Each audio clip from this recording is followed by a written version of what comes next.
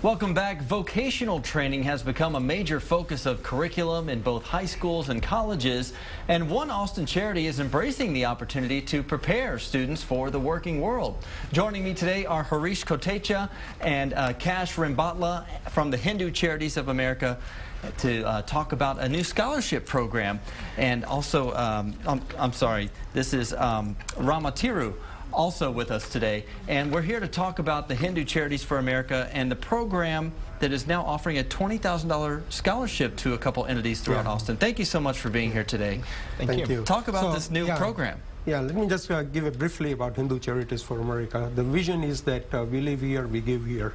So yeah. Indians have been very successful throughout the United States, you know, 3 million or so. Mm -hmm. And uh, uh, we have, uh, the success is basically because of education, right? I mean, the only reason that U.S. allowed us give the visa is because of education. And uh, so given that, uh, you know, what we want to do is give back to the communities. So we have established two programs. One is for scholarships, uh, which we initiated last year. -huh. And since 2010, we have been donating uh, school supplies. at the beginning of the school year. Right. The school supply program we do with the greater Austin Jewish Federation. Mm -hmm. And we just had an event uh, a couple of uh, weeks ago, Bollywood meets Borscht Belt, which is appropriate name. You know, Borscht Belt is the cultural, used to be a cultural, um, you know, visual arts and performing arts center for the Jewish community in U.S.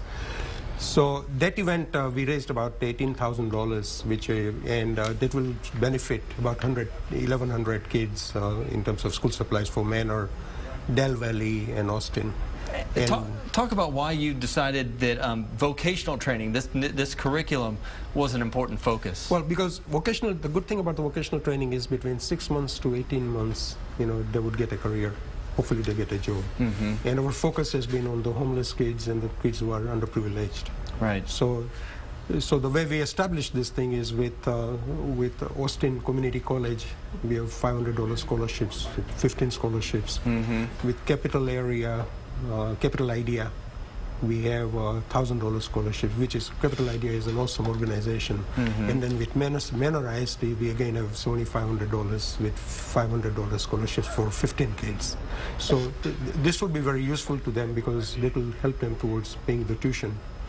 And, and, and, all of this money was raised through a, a cultural event. Yes, you know, we partner with, uh, taking advantage of the, uh, the cultural diversity of Austin. Mm -hmm. We partner with the Jewish community and every year organize, uh, as Harish was saying, Bollywood to Borscht Belt. Borscht Belt was a kind of a, a movement in New York uh, which sort of um, showcase the Jewish community cultural events. So we are showcasing it with Bollywood, right. and uh, uh we have sold out tables, and we provide vegetarian meals and uh, uh, you know Jewish desserts, and it's a very nice combination. It, yeah, and a celebration. Yes, it's a celebration of both communities. Right. And with that, we raise this time we raised sixteen thousand dollars. Mm -hmm. It was a sold out event, mm -hmm. and both the communities worked very well. Mm -hmm. And we also organized a very big event called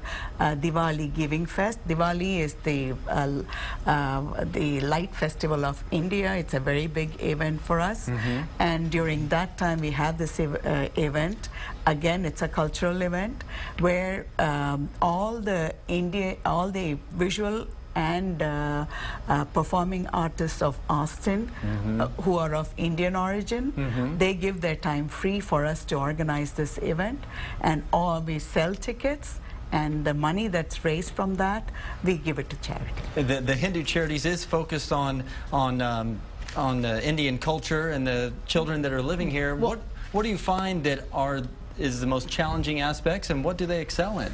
Well, I, I, I think it's first off, it's it's it's important to note that uh, as as you mentioned the uh, the um, trade schools. Uh, the reason we're doing trade schools as well as our separate project of giving school supplies is basically both of them are related to education.